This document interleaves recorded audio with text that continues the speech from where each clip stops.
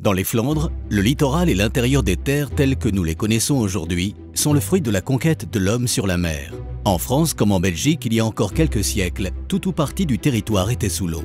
Au fil du temps, par un effet naturel, la mer a laissé la place à un vaste marécage asséché, puis mis en culture par les moines. Le processus de poldérisation était lancé, donnant ainsi naissance au système des wateringues. Ce dispositif hydraulique entièrement voué à la maîtrise de l'eau a été perfectionné par chaque génération, avec toujours comme objectif de faire barrage à la mer et réguler les écoulements des eaux douces. Aujourd'hui, les évolutions climatiques et plus particulièrement l'élévation du niveau de la mer obligent les acteurs du territoire à se mobiliser et à repenser le système en place afin qu'il soit plus adapté au contexte à venir. C'est précisément pour répondre à la menace que le projet Magetto a vu le jour. Il consiste en une coopération transfrontalière pour maîtriser et gérer l'écoulement des eaux entre Dunkerque et Nieuport. Pour une meilleure compréhension du projet Magetto, il est utile de revenir sur l'histoire de ce territoire transfrontalier. Autrefois, à l'emplacement actuel des Moires, un lac recueillait les eaux d'un territoire s'étendant de Bergue à Furnes. Ce lac aux eaux pestilentielles était à l'origine de nombreuses épidémies, notamment dans la ville d'Onscott. Au cours de la première moitié du XVIIe siècle, deux grands chantiers ont transformé le visage de cette région. Le premier consistant à assécher le lac des Moires, le second à creuser un canal pour relier Dunkerque à Furnes.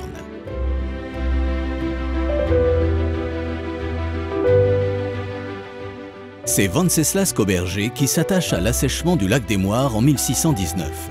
Pour ce faire, l'ingénieur ceinture le lac d'une digue et 23 moulins à vent actionnant des vis sans fin, rejetant les eaux à l'extérieur. Celles-ci sont alors recueillies par un fossé circulaire latéral à la digue, le ringslot. Les eaux sont ensuite réorientées vers Dunkerque. L'assèchement des moires résout de façon fulgurante les problèmes d'insalubrité de la région et dynamise l'économie locale en offrant de nouvelles terres très fertiles à l'exploitation. Cependant, la réalisation de ce travail que Cauberger mène à bien en six ans bouleverse le système d'écoulement du secteur. Les moires, par l'effet du dessèchement, passent de fonds servants inondables à fonds dominants non inondables. Le second chantier, indépendant de l'assèchement des moires, a consisté à creuser plusieurs canaux permettant de relier les villes et de les approvisionner, alors que la Flandre était sous domination espagnole et que les ports maritimes étaient bloqués par la marine hollandaise.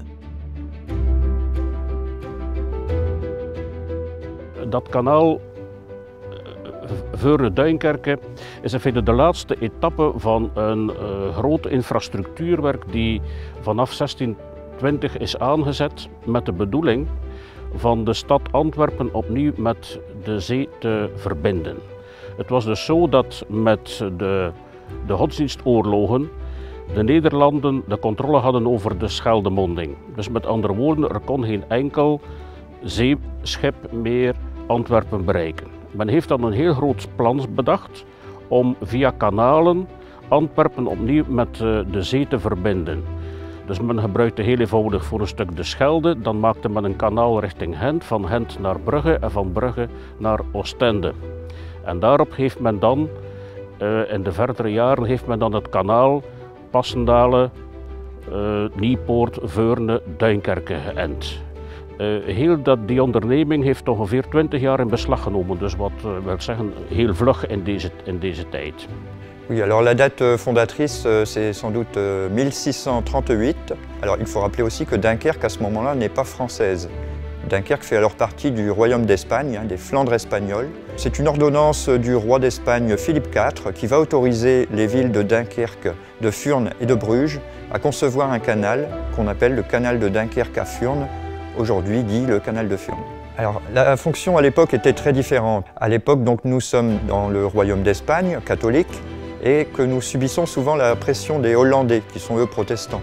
Et ainsi, ils bloquent le port de Dunkerque en 1638, ce qui occasionne des problèmes de disette à Dunkerque.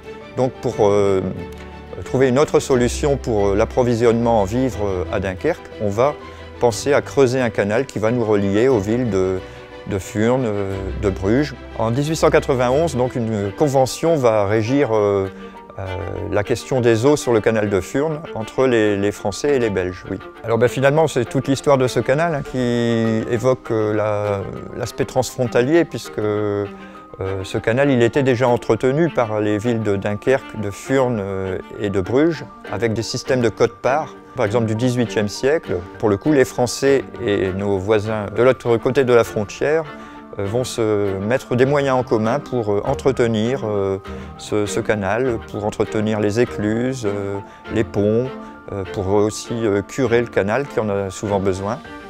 Le polder des Watringues est très plat et son altitude générale ne permet l'écoulement des eaux douces à la mer que pendant la marée basse, quand le niveau de la mer est inférieur au niveau d'eau dans les canaux. On appelle cet écoulement l'évacuation gravitaire. À marée haute, il faut empêcher la mer d'envahir les terres. Les portes à la mer sont fermées. Les eaux douces arrivant de l'amont ainsi que les eaux pluviales sont stockées dans le réseau de canaux.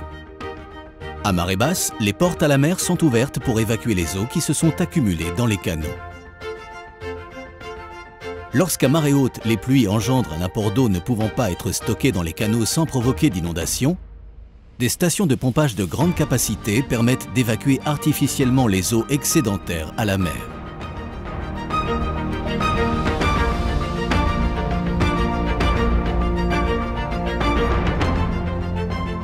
Au-delà d'être des voies navigables, les canaux permettent également de collecter les eaux et les acheminer jusqu'à la mer. Il constitue l'armature essentielle du système des watringues françaises et belges. La mutualisation des moyens existait déjà il y a plus d'un siècle. Le canal de Furnes, c'est un canal transfrontalier et ce canal transfrontalier s'écoule de France vers la Belgique. C'est un canal qui prend naissance à Dunkerque, au niveau des quatre écluses, et qui est évacué à Newport, en Belgique.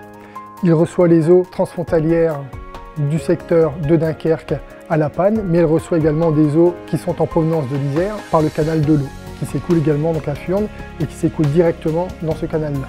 Alors ce qu'il faut savoir, c'est que sur le territoire, on a deux canaux transfrontaliers, le canal de Furnes et le canal de la Bascolne, et ces deux canaux font l'objet d'une convention internationale qui a été signée en 1890 qui réglemente le sens d'écoulement des canaux. Alors on peut trouver ça drôle euh, d'avoir euh, une convention qui va réglementer le sens d'écoulement, mais ce qu'il faut savoir, c'est qu'on est sur un territoire qui est tellement plat, le territoire du Watring, qu'on peut décider de faire circuler un canal dans un sens ou dans un autre. Et donc, il a été décidé en 1890 d'acter le fait que le canal de Fuyon s'écoule de France vers la Belgique et le canal de la Bascolme va s'écouler de la Belgique vers la France. Aujourd'hui, les évolutions climatiques obligent les acteurs du territoire à se mobiliser et à repenser le système d'assèchement en place afin qu'il soit plus adapté au contexte à venir. Le danger d'inondation dans les moires intérieures et extérieures est latent. Une nouvelle approche est donc nécessaire pour aborder la problématique dans son ensemble et c'est avec le projet Mageto que la coopération transfrontalière prend encore plus de sens. Le projet Mageto vise à limiter les inondations dans la zone transfrontalière en mettant en place un dispositif d'écoulement partagé des eaux du canal de Furnes. Pour y parvenir, deux nouveaux ouvrages seront construits. Une station de pompage en Flandre sur le Spivart et une vanne d'évacuation aux quatre écluses à Dunkerque.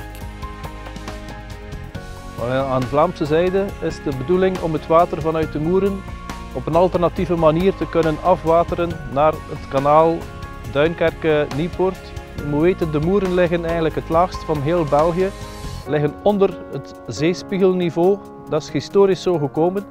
En de afwateringsmogelijkheden die we eigenlijk hebben zijn enorm beperkt. Dus als er enorm veel water valt in de winterperiode of tijdens de hevige zomerse onwedersbui, dan moet dat water op een snelle manier eigenlijk hier ook weg kunnen geraken. Uh, door de klimaatverandering is dat meer en meer problematisch en dus moeten we er eigenlijk voor zorgen dat we verschillende mogelijkheden hebben. Alors les principes qu'on a adoptés donc pour euh, essayer d'améliorer les choses, c'est déjà de ne pas déplacer les problèmes d'inondation d'un secteur à un autre. Euh, on a Prévu également de ne pas modifier les zones assainies de part et d'autre de la frontière. Hein. On a pour ça, on a dû travailler avec nos partenaires flamands, que ce soit au stade des études, là, de la réalisation des travaux, mais on devra également travailler euh, au stade de la gestion des, des ouvrages de manière coordonnée. Aujourd'hui, il s'agit dans un premier temps, euh, à court terme, de mettre en œuvre une solution Mais on sait qu'il faudra aussi à l'avenir, euh, avec les conséquences du changement climatique, aller sans doute plus loin dans, les solutions euh, à apporter à ce problème. La, solution qu'on a cherché à, trouver, c'est une solution qui utilise des, infrastructures existantes pour essayer de limiter les coûts du projet. Hein. Euh, c'est pour ça qu'on doit ici, donc, sur le site des, quatre écluses, donc, créer une vanne qui va permettre de relier le canal de Furne au canal exutoire. Ça va permettre, pendant les phases de crue, d'évacuer les eaux du canal de Furne, qui jusqu'alors s'évacuaient uniquement euh, en Flandre, à Newport, de pouvoir en évacuer une partie ici à Dunkerque par le canal exutoire et ensuite par l'ouvrage Tixier. Tout ça fait qu'on aura une augmentation de nos capacités d'évacuation à la mer et c'est l'objectif qui est poursuivi dans, le cadre de ce projet. Op heden afwatering gebeurt water naar om ook een alternatief te hebben, willen we via het ringslot en de Speyevaart willen we eigenlijk die afwatering ook omkeren om zo eigenlijk al langs Vlaamse zijde in het kanaal terecht te komen met het water. Maar de belangrijkste ingreep en eigenlijk de hoofdingreep die we gaan doen is de verbreding van de Speyevaart ter hoogte van het kanaal Nieuwpoort-Tuinkerken en daar komt eigenlijk een wachtboezem waar dat het water zich kan in een vijver uh, vasthouden om dan met een een die we zullen bouwen op het kanaal en de waardoor water op die manier in het kanaal gepompt worden. Cette coopération qui s'appuie sur des réponses techniques ne peut à elle seule résoudre et prévenir tous les problèmes d'inondation.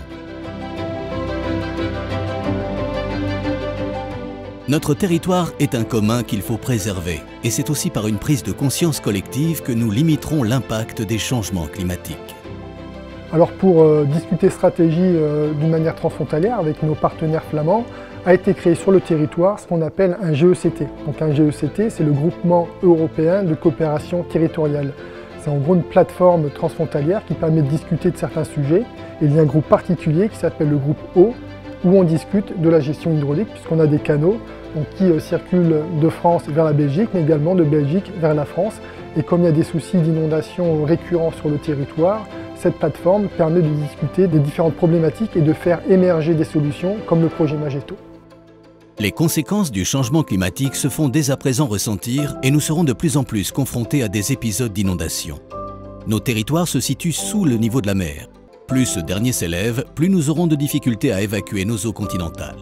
Dans ce contexte, la coopération transfrontalière prend tout son sens. Cette approche collective pour les Watringues nécessite une mise en œuvre solide. Nous partageons un même territoire avec un avenir commun. La coopération nous permet d'anticiper le changement climatique et de nous adapter à ses conséquences.